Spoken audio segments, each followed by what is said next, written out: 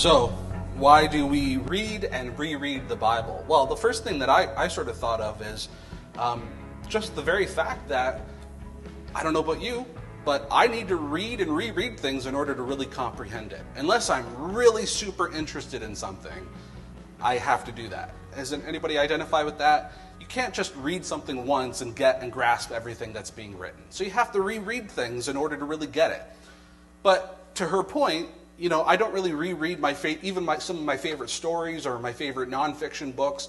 I don't really reread those all the time the way we reread the Bible. So part of it is indeed having the opportunity to grasp it, but the other part of it that we're going to look at today is why, like what it is that we're grasping and why it's so important. So, again, unless you're unless I'm very interested in something, I find it hard to to comprehend things that I read, so I have to reread things. But I'm also a bit of a audio-visual learner. There's different kinds of learners, uh, different kinds of ways that people learn. Visual, audio, you know, sometimes you have to do things and actually, you know, live things out in order to grasp what you're learning. So I find it interesting, and, and, and this is something that I've discovered years ago, is that the Jewish people have a lot of traditions, a lot of customs that help them to take the scripture and not, not just read it. Like, that can be a boring thing if you just read something. Why not take what you read and sort of try to live it out as best you can and have reminders and have different things that will, you know, get you your, your, your brain going. So Moses actually said in Deuteronomy that you should take God's commandments and tie them to your hands and wear them on your forehead as reminders. And he also said to write them on the doorposts of your house and on your gates. So these customs go all the way back to Deuteronomy. And so this is what the Jewish people do. They take these little pieces of written out scriptures and they place it in a little box and they put it on their doorposts. And they also take scripture that's written down, they put it in leather boxes, and they strap these boxes to their forehead and to their arms and they literally, therefore, have the Bible on their doorposts of their homes, and every time they walk through that doorpost, they touch it. And it reminds them that this is a home that believes in Scripture, that lives by Scripture, and every morning, Jewish men pray with these boxes on their head and on their arms, and it reminds them that no matter what I think, no matter what I do with my hands, I'm going to do it through the wisdom of Scripture. And, and, and you know, with God's commandments on my mind and in my actions.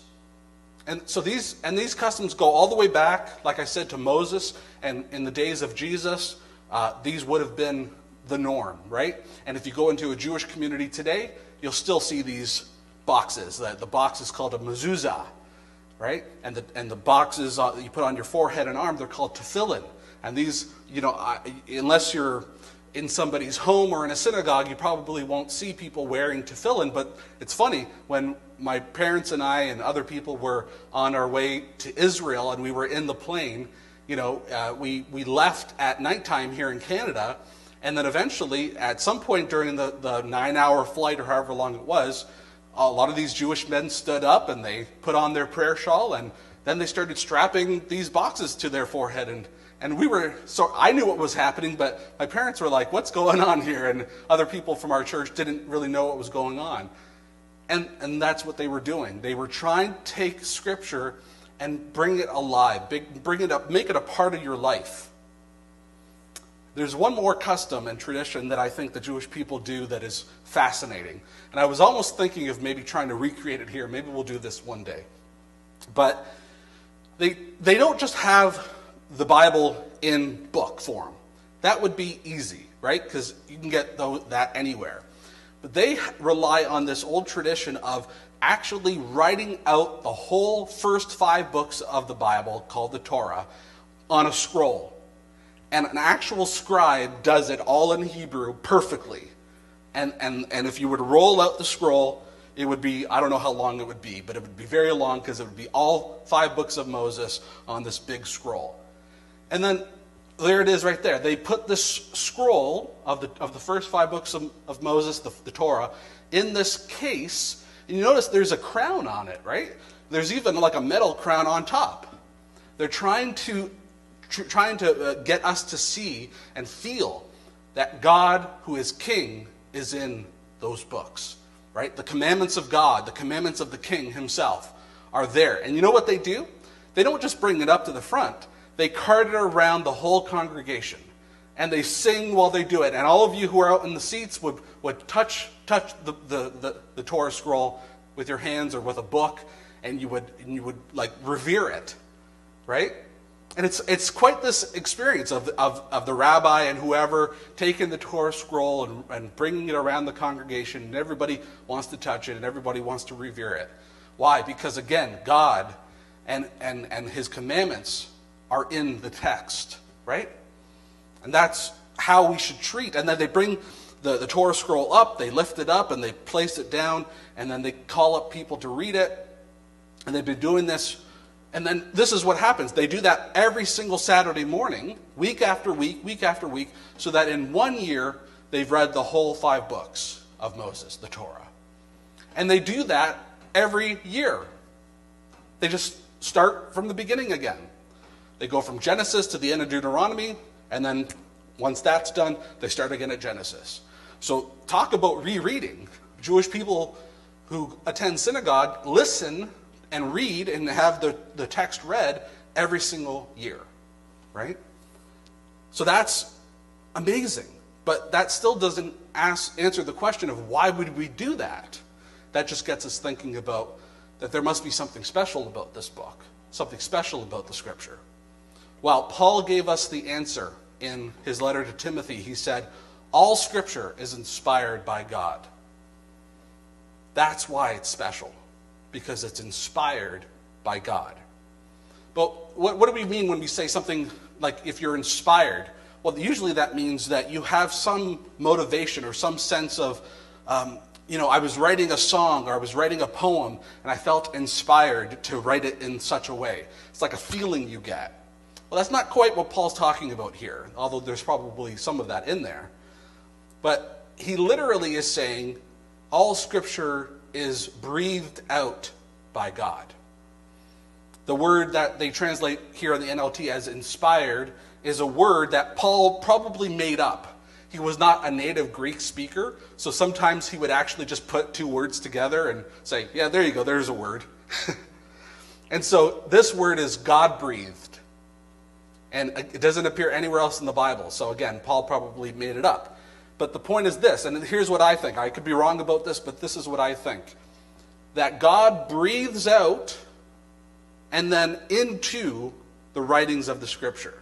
So imagine God, you know, speaking and then that going into the person who's writing the scripture and then out comes what they wrote. And so you get this amazing amalgamation of what the person believes and understood and writes, but with God's breath, God's influence on that. I'll give you another example. Adam was a, you know, the, the, the first human being, as it's told up to us in the book of Genesis in Scripture. Adam was just a guy, right? He was just a human. There was nothing supernatural about Adam as a person, as a, as a creature. He was a human being like all of us, right? But what did God do? He breathed the breath of life into him, right? God breathed the breath of life into Adam's nostrils, and he became a living person. So, uh, there's a certain degree of metaphor going on here. There's a certain degree of this is, uh, uh, you know, imagery. But nevertheless, let's talk about what this is saying that God brought Adam alive by breathing into his nostrils, by breathing into him. Well, that's what I see is happening with Scripture. Look, the Bible is filled with just what people wrote. You know, like we can go go through the history of how the Bible was written, and we can see these are just regular people, right? Moses was a regular guy. David was a regular guy. Paul was a regular guy right? The only one was Jesus, who was not so regular, um, but he didn't write anything in the Bible, right? But we things a lot of things were written about him, but he didn't write anything in the Bible. So my point is this: is that the Bible, the books themselves, the writings are human based. They were written by human beings, but God breathed into them in such a way where I think embedded within the scripture is something special. And we're going to look at that in a second.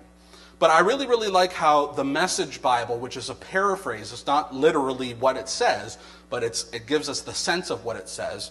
It says that every part of Scripture is God breathed and useful one way or another. See that? Every part of Scripture is God breathed and useful one way or another, showing us truth, exposing our rebellion, correcting our mistakes, and training us to live God's way. So that through Scripture we are put together and shaped, shaped up for the tasks that God has for us.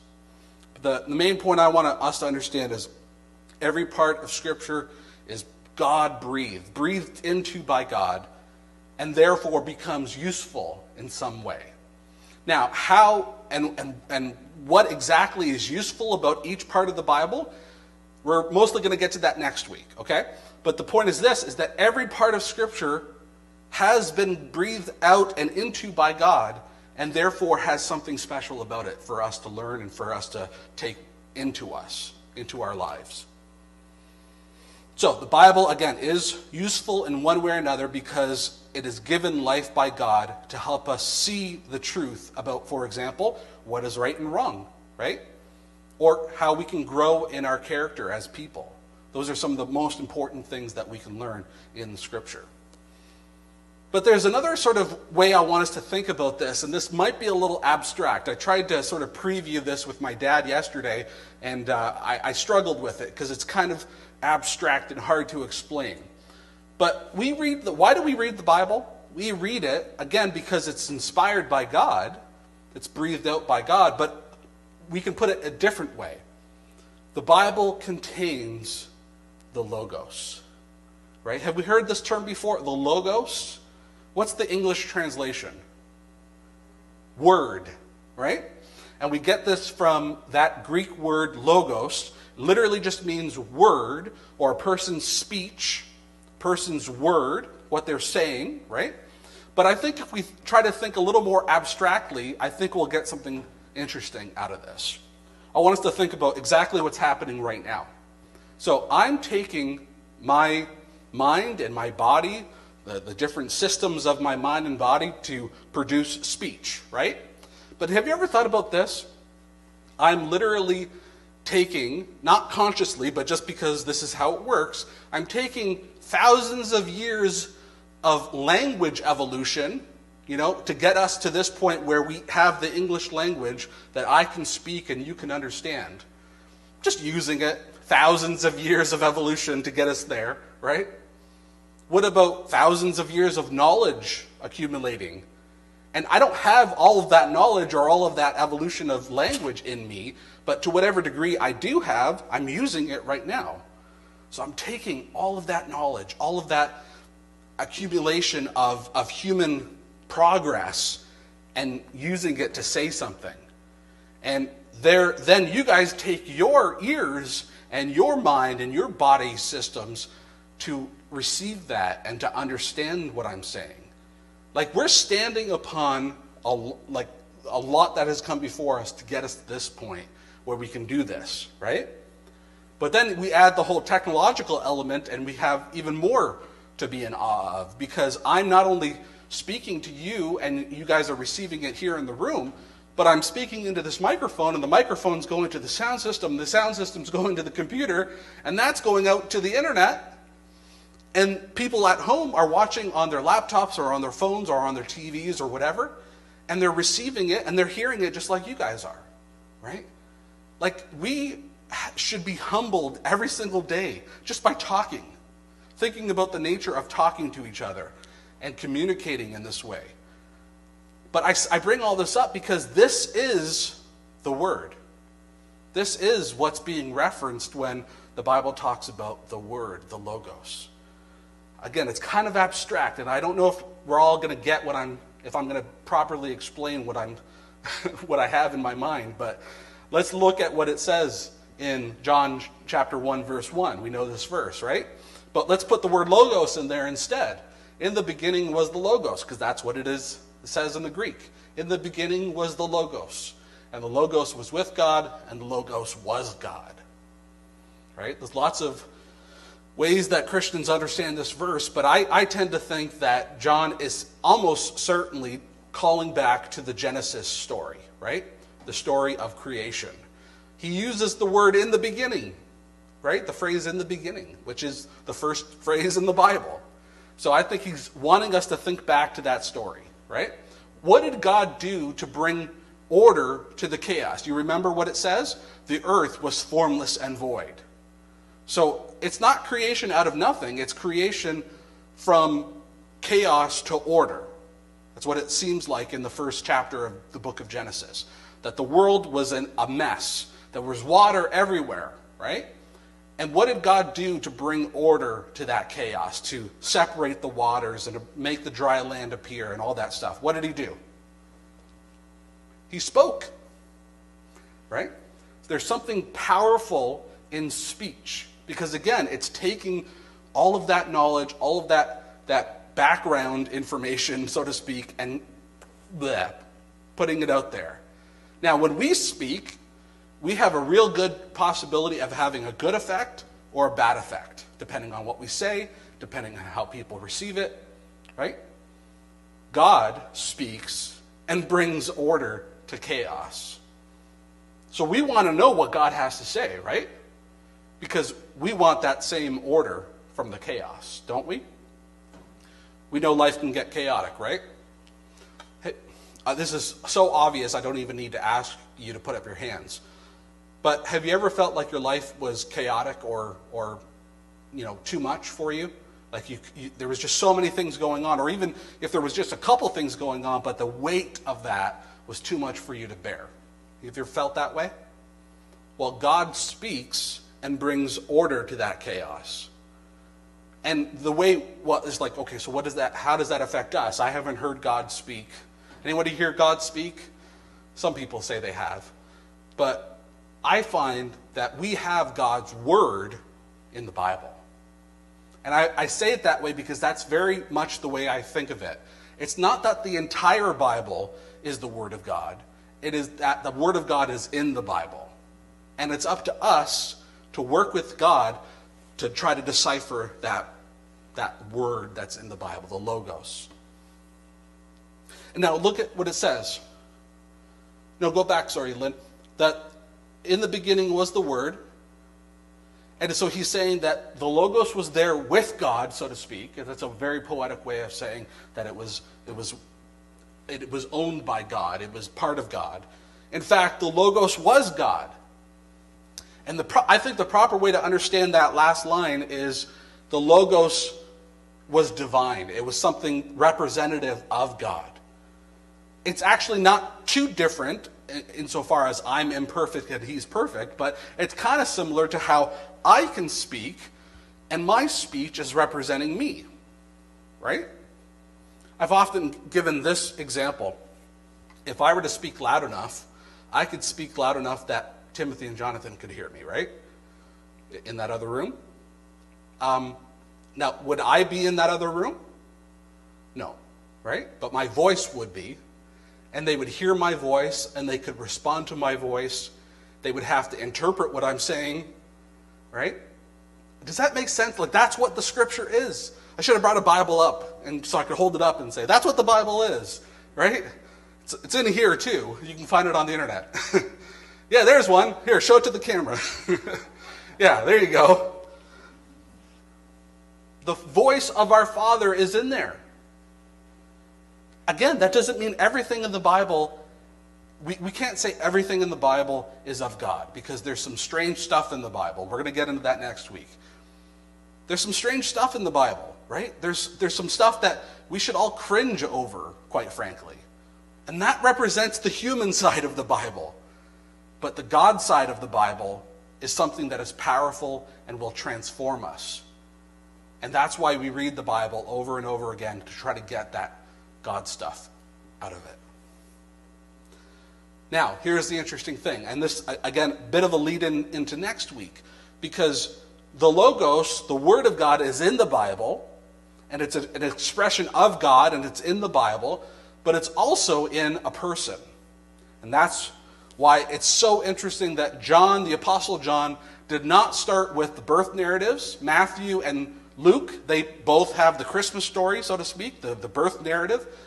Mark just skips all that and goes right to the beginning of Jesus' ministry. But what does the Apostle John do? He starts with this prologue. He says, In the beginning was the Word, right? In the beginning was the Word, and the Word was God. It was representative of God. And then he shocks everyone saying, The Word became flesh, in verse 14. The Word became flesh and lived among us. So that same expression of God that brought order to the chaos and that we find in Scripture is now embodied in the person of Jesus. So that we can now look at Jesus and say, there's the Logos of God. There it is. The expression of God is in Jesus. So that Jesus could say, I am the way, the truth, and the life. No one can come to the Father except through me. Why? Because in him is the voice of the Father himself the expression and the thoughts and the plans and the purposes of God are all in one person, and that's Jesus. This is why we, why we revere him, why we are devoted to him, why we bother with him, because Jesus brings us to God. If not, Jesus would just be another good teacher, uh, just another good historical figure that we might find interesting. But he's special because in him is the very logos of God. So if we follow Jesus, he will show us the way. If we listen to him, he will speak the truth. And if we embrace him, he will give us life. And this is why the Apostle John said that he wrote this. The whole purpose of writing his gospel was to get us to believe that Jesus is the Messiah, the Son of God, and that we may have life in his name. So the very same Logos that brought order to the formless and void earth is the same logos that we can have in us as we embrace Jesus and he imparts that life into us, that truth into us. So, to the, to the degree that we embrace that way, life, and truth that's in Jesus, to, to the degree that we embrace it, we can have that same result in our lives order from the chaos bringing order to the chaos and, and allowing us to live an abundant life. It's what we talked about a couple weeks ago. Eternal life, that may have been last week. Eternal life begins now, right? To the degree that we embrace Jesus and the life that he has in him.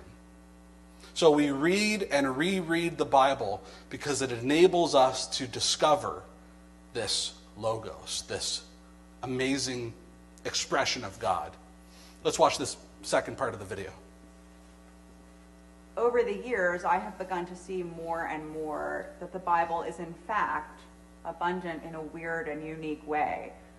I have come into that richer understanding of the Bible not by thinking abstractly about why we read Scripture, but by actually living with the Bible, reading it, praying it, and praying that I might become a person who can hear its liveliness. Once a week, I take a Bible to some location that is not my house or my office or my church I go to a riverside or shopping mall or prison or flagpole, and I read a short passage of scripture there and sit with the passage for a while, maybe 10 minutes, maybe three hours. It's amazing what you sometimes hear. Like Jesus' words about wealth sound very different when I read them in the lobby of my bank.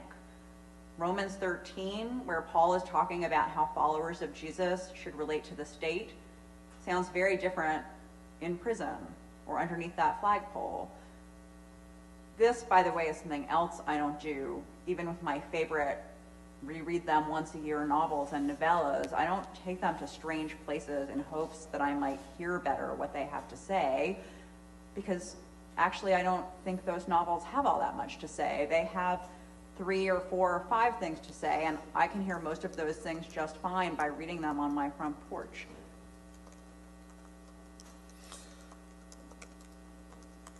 just uh, responding to somebody in the chat there.